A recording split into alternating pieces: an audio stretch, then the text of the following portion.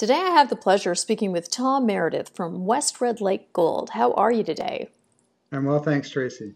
And of course, West Red Lake Gold, for those of you out there following the gold mark, know that this is an Ontario district that many of us who love gold are following. Can you provide kind of some competitive advantages on West Red Lake Gold for our audience, please, Tom?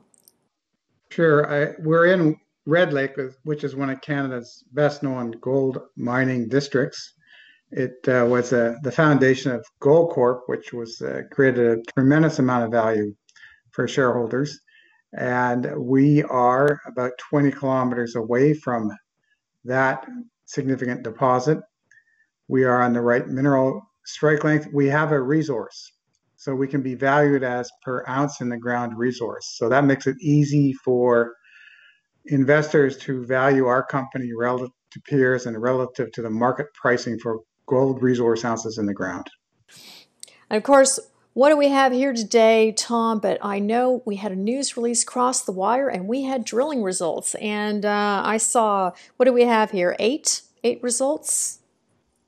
Yeah, we had 10 drill holes. They all had gold in them. And uh, we, I think we highlighted uh, six or eight results. Oh, well, I saw, you know, some rather high numbers. I'm, I'm assuming you want to give our audience some of the highlights, please.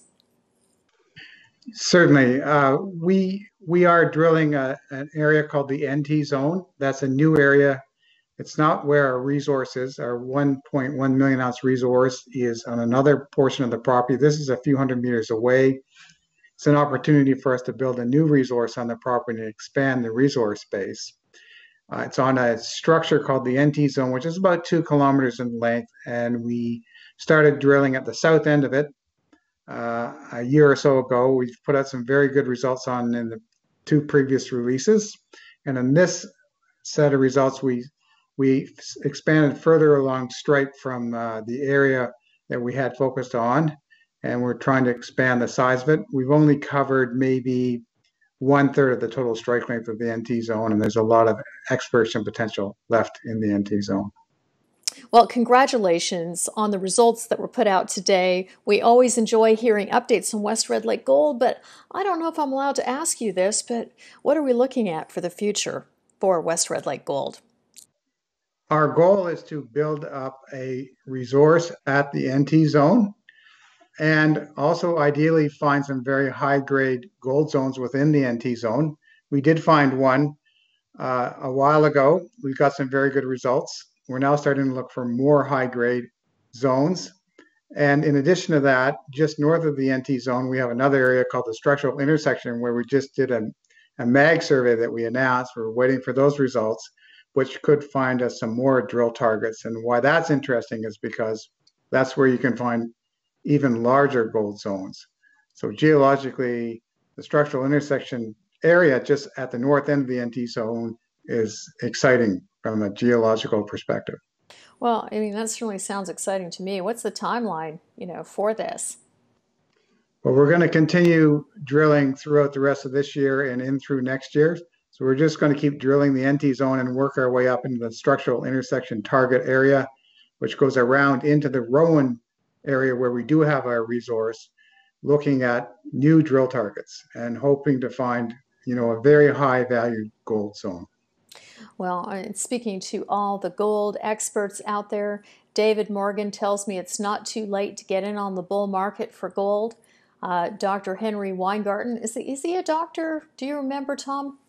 I saw that he text messaged me just before this interview, and he told me, he says, I told you things are going to get better here in gold in the next couple of months. So from your perspective as a gold expert with a geological background, can you tell us what you think is going to happen in the gold market here in the next uh, couple of months into the new year?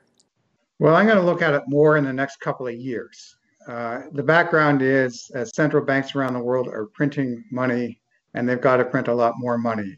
And what that does is that actually enhances the value of gold. And you've got people like Bank of America calling for gold to be at $3,000 an ounce in 18 months.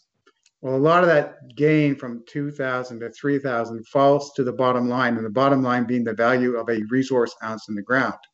So right now we may be valued in the market at $20, $30 an ounce, depending on the market price at the time.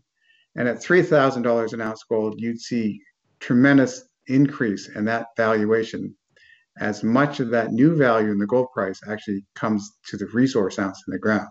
So for the next two years, as we work to build our resource, we also expect to see more capital flowing into the sector and increasing the value of resource ounces in the ground.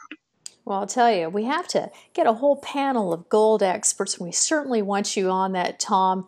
Thank you so much for joining us today and providing an update on West Red Lake Gold. Thank you, Tracy. My pleasure.